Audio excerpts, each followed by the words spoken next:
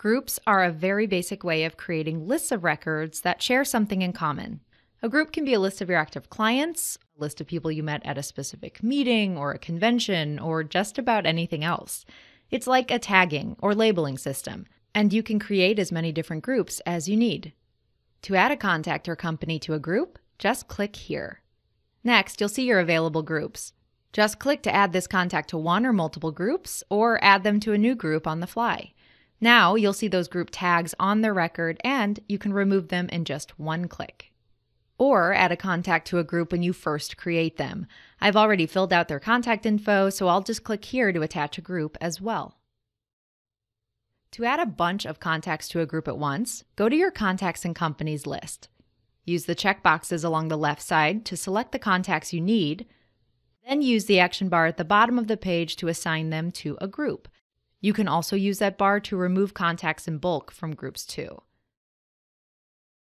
Once you've created a group, you'll just be one click away from seeing everyone in that list or add a filter to narrow down your database to a specific group. Need to change or edit one of your existing groups? Easy, just head to your group's settings page. Here, you'll see the name of each group in your CRM, and you can jump to a group, rename it, or delete group names from this page. Keep in mind, deleting a group doesn't delete the records inside of that group, so you're not deleting records, just the group name itself.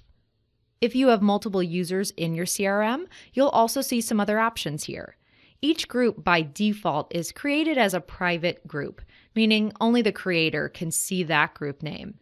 It does not affect whether other users can or cannot see the records in that group. That part still depends on your contact sharing permissions. So let's say that you have a private group but your permissions make your contacts visible to everyone else on your account, they'll still be able to see those contacts in the CRM. They just won't see the option to filter by that group, and they won't see that group tag on those records. And if you're an administrator, you can make changes to other users' private and public groups here. My colleague John has a private group, but that should probably be public so we can both see and filter by it. As an admin, I can change that group setting, which is account wide. So that's how groups work. But one common question is when to use groups and when to use pipelines. It really just depends on what you need to do. Groups are the simpler option between the two. They let you build contact lists that are quick to edit and reference, but not much beyond that. We don't log anything about a contact's group history, so they're either tagged in a group right now or they're not.